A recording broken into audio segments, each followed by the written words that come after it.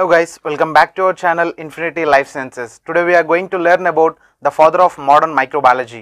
So guys ఈరోజు మనం ఏం నేర్చుకోబోతున్నామంటే ఆధునిక సూక్ష్మజీవ శాస్త్ర పితామహుడైనటువంటి లూయిస్ ప్యాచర్ గురించి నేర్చుకోబోతున్నాం so guys let start the class so the Louis Pasteur life period is December twenty seven eighteen twenty two to September twenty eight eighteen ninety five Louis Pasteur was a French chemist and microbiologist best known for is uh, break breakthroughs in the causes and prevention of disease.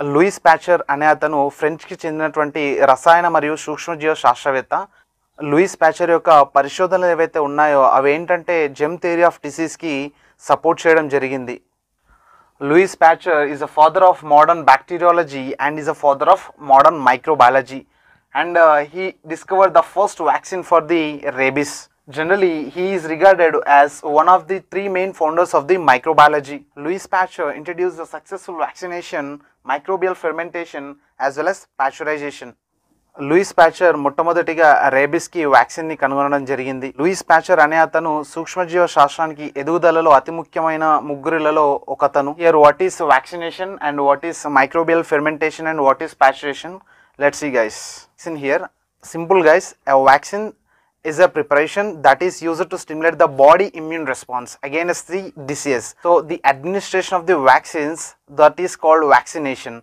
and vaccines are usually administered the uh, needle injections but some can be administered by mouth or sprayed into the nose. So guys ఇక్కడ vaccination అంటే ఏంటంటే సింపుల్గా బాడీలో ఉన్నటువంటి రోగ నిరోధక శక్తి ఏదైతే immunity ఉంటుందో దీన్ని ఆ డిసీజ్కి మళ్ళీ రాకుండా కౌంటర్ అటాక్ చేస్తుందన్నమాట. సో ఇలా డిసీజ్ని ప్రివెంట్ చేయవచ్చు దీన్నే వ్యాక్సినేషన్ అంటాం. సో వ్యాధి రాకుండా ముందుగా జాగ్రత్తగా తీసుకునే టీకాలను ఇక్కడ మనం వ్యాక్సిన్ అంటాం. ఆ టీకాలను ఇచ్చే పద్ధతిని మనం ఇక్కడ వ్యాక్సినేషన్స్ అంటాం. So guys, vaccination is a simple, safe and effective way of protecting people against the harmful disease before they come into contact with them. So guys, the second one is a fermentation is a process in which a substance break down into a simple substance. Microorganisms like yeast and bacteria that will plays a major role in the fermentation process, creating beer, wine, bread, yogurt and other food items. Those are done by fermentation only. So guys ఫెర్మెంటేషన్ని తెలుగులో మనం కిన్వన ప్రక్రియ అంటాం. దీన్నే పులియబెట్టడం అని అంటాం guys so fermentation అంటే ఏంటంటే ఈ కిన్వన ప్రక్రియలో ఏం జరుగుతుందంటే జనరల్గా సంక్లిష్ట పదార్థాల నుంచి సరళ పదార్థం అంటే బ్రేక్ డౌన్ చెందడం సూక్ష్మజీవుల సహాయం చేత అవి బ్యాక్టీరియాలే కావచ్చు లేదంటే ఈస్ట్లే కావచ్చు వీటి ద్వారా విచ్ఛిన్నం చెందడాన్ని ఇక్కడ మనం ఫెర్మెంటేషన్ అంటాం. Example glucose to alcohol the last one is the pasteurization okay guys this the one of the heat treatment process that destroy the all pathogenic microorganism in certain foods and beverages so that is here we call it as pasteurization pasteurization అనేది ఏంటంటే ఒక వేడి చేసే పద్ధతి. ఇందులో ఏంటంటే పాలను మనం వేడి చేసినప్పుడు దాంట్లో ఉన్నటువంటి హానికరమైనటువంటి బ్యాక్టీరియాస్ అన్ని చనిపోయి ఆ పాల యొక్క క్వాలిటీ అంటే నాణ్యత అదే విధంగా ఉంచి ఆ పాల యొక్క లైఫ్ని పెంచుతుంది. సో దీన్నే మనం ప్యాచురైజేషన్ అంటాం. So definitely will discuss in our next videos about these topics guys Louis Pasteur propose a concept of preventing the entry of micro organism into the human body and this will leads the Joseph Lister to develop antiseptic methods in the surgery.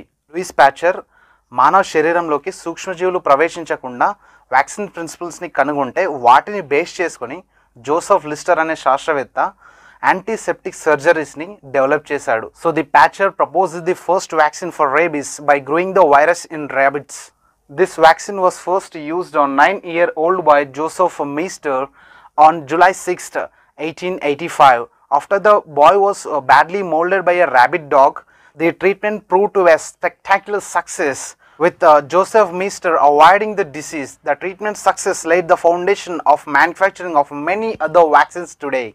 And finally, Patcher won the Leeuwenhoek Medal in the microbiologist highest honor in the year of 1895 and he died in the year of 1895.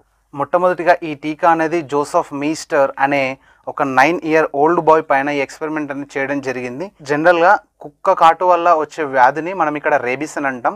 So ఈ vaccine ఇచ్చిన తర్వాత Joseph Meister అనే అతను కుక్క కాటు గురైనా కూడా అతనిలో ఈ యొక్క వ్యాధి లక్షణాలు అనేవి డెవలప్ కావడం జరగలేదు.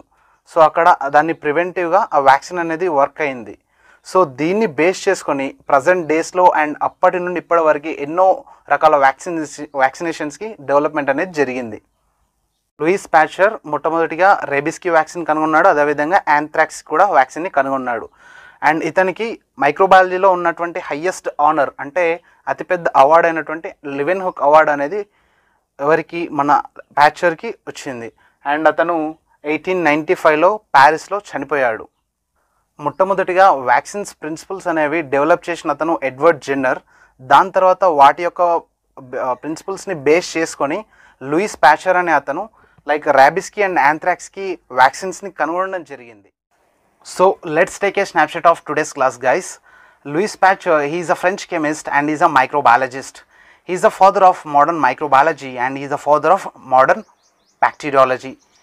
The first vaccine he introduce that is a rabies he introduced vaccine for also anthrax.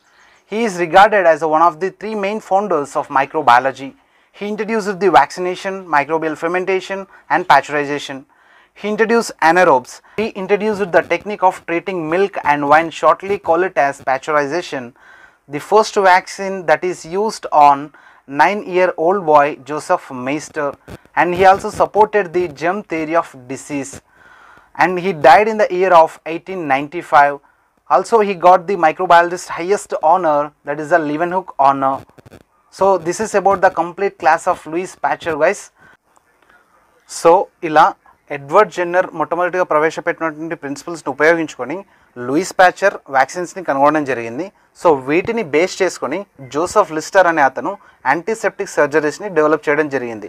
అంటే ఇలా ఒకరి ప్రయోగ ఒకరి ప్రయోగాన్ని మరొకరు ఉపయోగించుకొని వీళ్ళు కొన్ని శాస్త్రాలకే పితామహులుగా నిలిచారు ఈరోజు సో అందుకే శాస్త్రవేత్తల గురించి తెలుసుకోవడం అనేది చాలా ముఖ్యం.